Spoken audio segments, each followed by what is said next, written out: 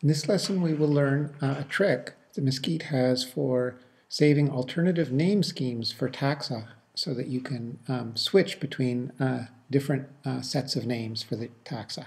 And so let's suppose we have this tree here and we'd like to print it, for instance, for a paper, but you might notice that the names of the taxa have all sorts of codes in them because these are actually connected to the molecular voucher specimens we used. And for the paper, we'd like to use the regular species names and not our own little informal names.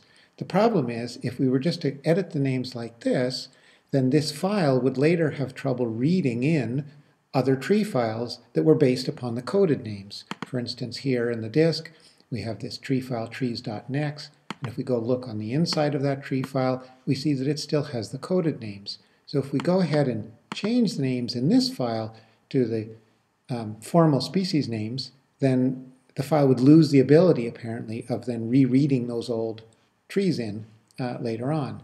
But it turns out we can save alternative naming schemes. So if we go to the list of taxa window, which is available, for instance, here, or by touching on this here, list and manage taxa, we get this window and we can add a column called alternative names. Now these alternative names um, uh, can be put filled with whatever you want. So now I'm going to fill in the formal species name. Pulex Omidus orbiculatus Aberniana species Evarcha proszynskii I Habronattus Yes. Short circuit this because you don't need to learn all these jumping spiders names by just putting shorter versions.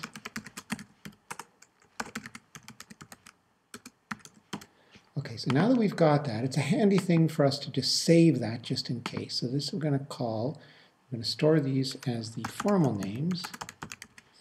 And now later we can call those up again if we want from our store by load alternatives formal names. We can save various naming schemes like this. But we can then do things like trade taxon names with alternatives. We flip them and you'll notice now the alternative names contain the coded names. Here the taxa now are renamed by the species names and we can um, then uh, perhaps store these uh, coded names as another naming scheme, coded names, uh, just for safekeeping in case we decide to edit this and or we lose this, the other one, or something like that.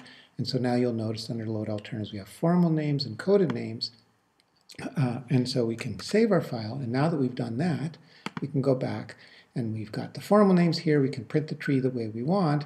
But anytime we want to read that old tree file, we just come back here and trade back again. And now the file is ready for reading that tree file as uh, shown here. Include file, trees. And even though that tree file lists the trees with the coded names, um, we can now see those that trees in that tree file uh, with the formal names by flipping back, going here, and then asking to see the other tree block with other trees. So now this is that other tree coming from the other tree file with the formal species names. So that's alternative names.